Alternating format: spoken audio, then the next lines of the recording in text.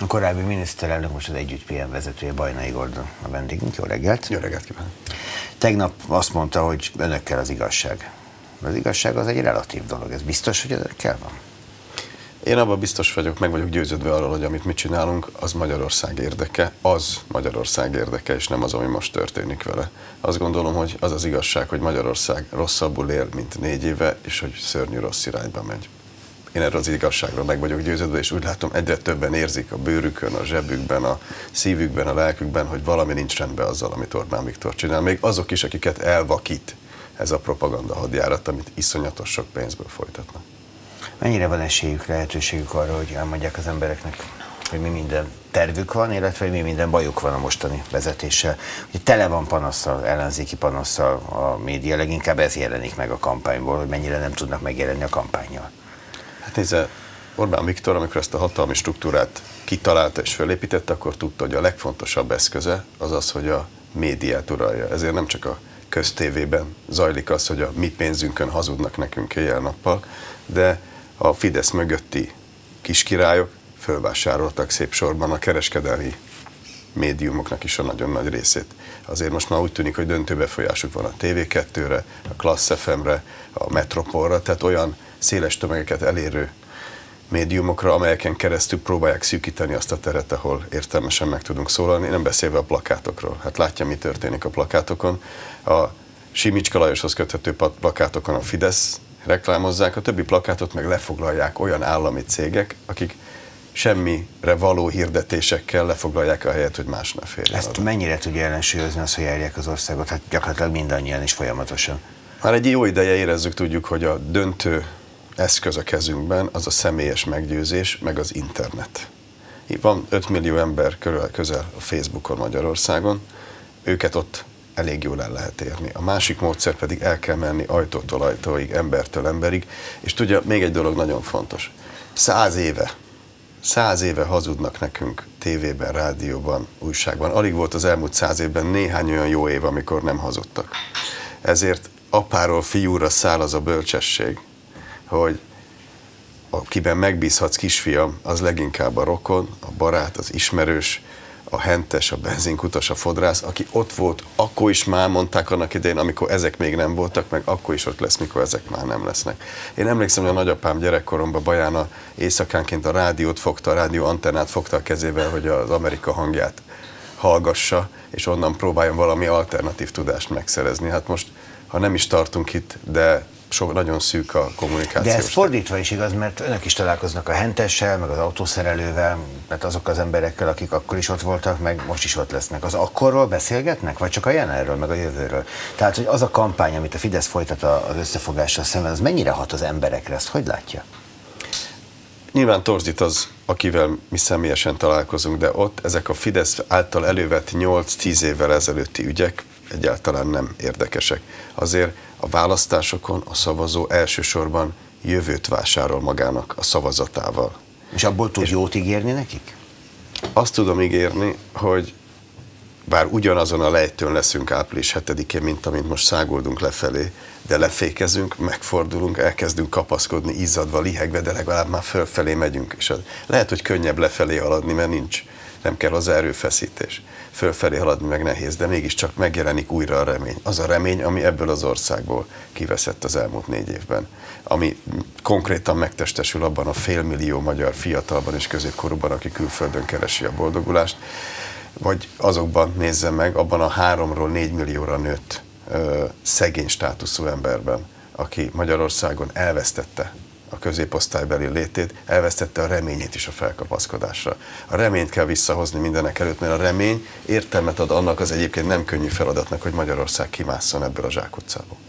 Az ember azt hinné, hogy Paksról, meg Felcsútról, Mészáros Lőrincről, Rogánat a vagyonnyilatkozatáról, a trafikügyről, meg ezer mindenről, ha beszél az emberekkel, az önmagában is elég ahhoz, hogy az valamiféle protest szavazatot eredményezzen az ellenzék számára. És közben mégis, mint hogyha ezek igazán nem hatottak volna az emberekre. Mivel lehet hatni rájuk?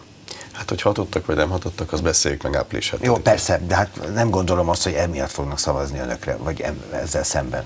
Tehát ha hát önökre a, szavaznak, akkor reméljük azért szavaznak, mert, mert valami mást akarnak, és nem valami ellen szavaznak, mint az elmúlt 20 évben mindig is így volt. Én annak örülnék, hogyha elsősorban a jövő miatt szavaznának ránk, de nincs olyan illúzióm, hogy nagyon sok olyan szavazó van ma Magyarországon, akinek elege van már a Fideszből, de gyanakodva szemléli a mi összefogásunkat is, meg mindenki mást a palettán.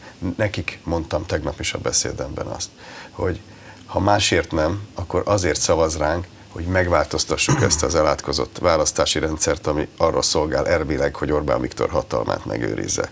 Változtassuk meg ezt a választási rendszert, hogy aztán mindenki az ízlésének megfelelő szereplőt támogathassa majd egy következő választáson négy év múlva. Változtassuk meg azt a rendszert, ami arról szól minden ízében elemében, hogy Orbán Viktor örökké uralkodjon rajtunk, hogy bármit megtehessen velünk, és bármit elvehessen tőlünk. Nézd, De ehhez egyszer el kell menni szavazni, egyszer változtatni kell, és aki most ízlésbeli problémák miatt, vagy közöny miatt, vagy azért, mert szívesebben megy a telekre, mert jó idő van április 6-án, most nem megy el szavazni. Vagy aki azért nem megy el szavazni, mert fél.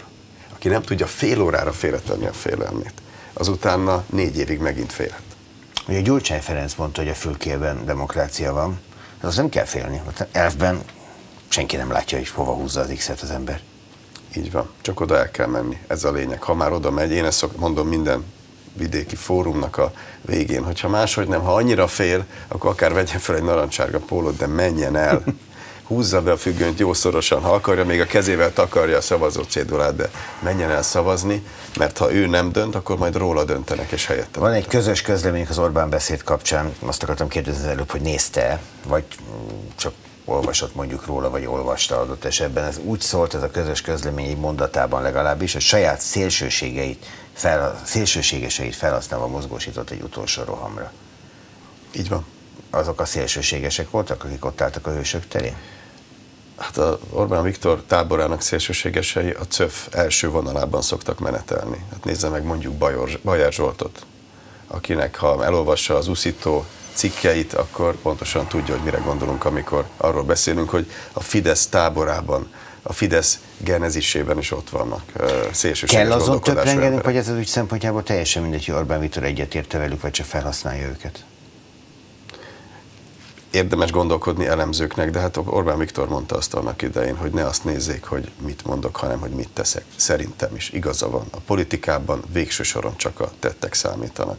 És Orbán Viktor tettei minden szempontból, a kormányzásban is, a politikai beszédben is önmagukért beszélnek. Sokszor hallunk tőle hangzatos nagy beszédeket az ország jövőjéről, mit jelent magyarnak lenni, keleti szél, nyugat alkonya, víziókat az, a, arról, hogy hova megy a világ, és ennek a sok beszédnek az alja mindig az, hogy Simicska Lajos néhány tízmilliárddal megint gazdagabb lett. Játszunk el a gondolattal. Szerintem ez egy olyan játék, amiben szívesen velem megy nyernek április 6-án. Hetedikén le kell ülni, koalíciós tárgyalásokat kezdeni. Ez nem játék. Azért mondom, hogy játszunk el, de ez, ez a dolog komoly, gondolattal játszunk el, hogy hol tartanak ebben. Tehát van egyfajta elképzelés arra, hogy hetedikén egy, egy győztes éjszaka után és az ünneplés és a pesgőzés után hogyan kezdődik a nap? Azt gondolom, hogy van. Természetesen a miniszterelnök jelöltnek az akkor győzelem után a leendő miniszterelnöknek kell diktálni ilyenkor a tempót. Nekünk van egy közösen egy egyeztetett programunk, ami már fél éve, több mint fél éve ismert. Az olyan, hogy azt elő kell venni, és ki kell rögni az asztal, hogy akkor e szerint így, így megyünk tovább? Tehát az, az, a kormányzás minden lényeges területére vonatkozóan megszabja azokat az irányokat, mit akarunk elérni a következő időszakban. Ezen kívül nyilván a miniszterelnöknek kell, hogy legyen elképzelése, úgy tudom, van is, arról, hogy milyen kormányzati szerkezetet képvisel el, és utána le kell ülni és meg kell beszélni, hogy ezeket a konkrét, kézzelfogható célkitűzéseket milyen szerkezetben hogyan váltjuk valóra.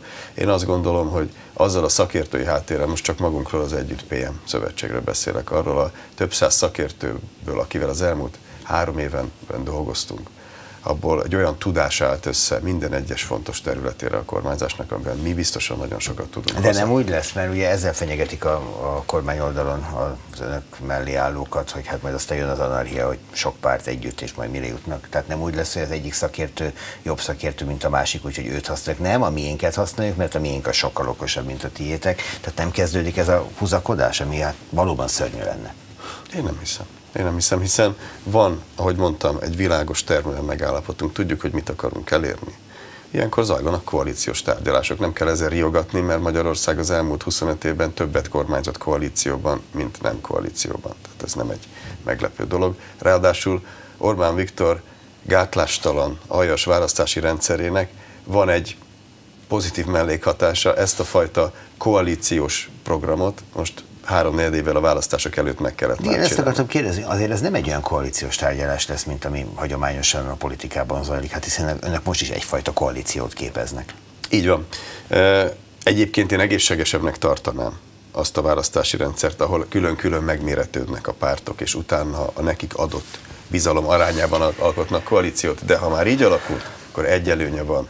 Van egy kész program, tudjuk, mit akarunk, számszerűen mutattuk be az elmúlt hetekben ennek a hatásait a magyar polgárok életére, a minimálbért emeléstől, a nyugdíjasoknak adott gyógyszertámogatáson át a munkahelyteremtésben negyedmillió munkahely megteremtéséig, és sok minden másik, az ingyenes alapdiplomáig, nagyon konkrét, kézzelfogható, a mindennapokban érzékelhető javulást hozó intézkedéseket mutattunk be, amellett, hogy persze Magyarországon, mondjuk kibecsülettel, egy helyreállító kormányzásnak kell következni. Olyan mélyen mentünk be a zsákutcába, olyan mélyen távolodtunk el azoktól az intézményes demokratikus alapoktól, amiket 1990-ben elkezdtünk építeni, hogy az első egy-két év egyszerűen helyreállító kormányzás. A gazdaságban a bizalmat kell helyreállítani, az oktatásban, a kultúrában a szellemi kútmérgezésnek a kárait kell elhárítani, és közben nulláról kell újraépítenünk intézményeket ebben hát az országban. Egy dolog egészen biztos, amikor Orbán Viktor azt mondja, hogy ha önök győznek, akkor mindent megváltoztatnak, ami az elmúlt négy év az ő szempontjából, az ő megközelítéséből eredménye volt, akkor ebben azért nagyjából igaza van. Világnézeti szempontból, abból, hogy merre viszi az országot, igaza van. De egyébként a kollégáimnak mindig azt mondom, hogy három kategóriába tegyük az intézkedéseket. Start, stop és folytatni. Nem kell mindent kidobni a fürdővízzel. Van néhány olyan praktikus dolog, amit meg kell tartani. Mond példát? Mondok. Például a családi adókedvezmény, a GEDEXTRA, amit mi követelünk évek óta, és a Fidesz éles fordulattal bevezette az elmúlt egy évben, ezek jó intézkedések. Vagy például a járások rendszere. Az önmagában egy értelmes közigazgatási szint, csak mi önkormányzativá tennénk a járásokat, azt, amit most kormányzati kinyújtott készként használnak. Tegnap... Tehát vannak ilyen konkrétumok, de azért sajnos sokkal hosszabb az abba hagyni, és az elkezdeni lista, mint a megőrizni lista, de olyan is van tegnap. Nem, azért nem foglalkoztam hosszan most a beszédével, mert majd fél kilenc után ezt egyúttal mondom is a kedves nézőknek, kivételesen nem tegnap esti adásunkat ismételjük, hanem a tegnap délután itt megismételjük az önök beszédeit, tehát a, a nagygyűlésen elhangzottakat. Viszont azt mondta tegnap azért egy mondat erejéig itt még megállnék, hogy a közvéleménykutatásoknak ne higgyetek, azokat demokráciára találták ki. Ezt a sajátjainak mondta, vagy önmagának igazából? Mindenkinek, aki hallotta. Azért, mert Nem bizonytalanodik el, amikor olvassa ezeket a rossz jóslatokat? Már hogy a, egy összefogás számára rossz jóslatokat?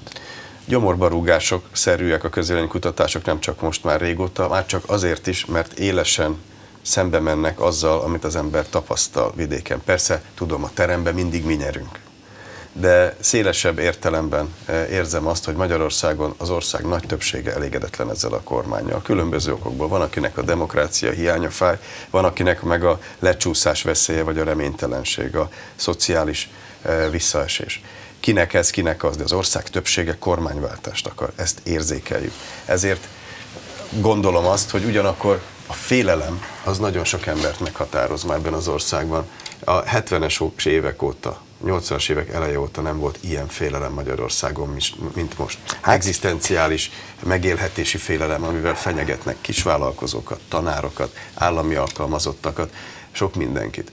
E, úgyhogy ezt a félelem faktort valahogy be kell kalkulálni, és ezt nyilván nem tudják mérni olyan módszerrel, amit egy olyan rendszerre találtak ki, ahol az embernek a saját véleményétől nem kell félni, ha azt fölvállalja. Ez a, ez a kritikám. De azt se tudom mondani, hogy ezek a közvéleménykutatások teljesen rosszak lehetnek. Egy, egyszerűen azt hiszem, hogy vakon repülünk, nem tudjuk mi van, majd a választásokon derül ki április 6-án. Hát az most már itt van, itt a célegyenes, lassan a célszalagot kell átszakítani. Így van, és, és jó futást kívánok. Akkor fogjuk átszakítani, ha mindenki elmegy, aki úgy gondolja, hogy fontos neki a saját jövője. Köszönöm szépen, hogy eljött Köszönöm.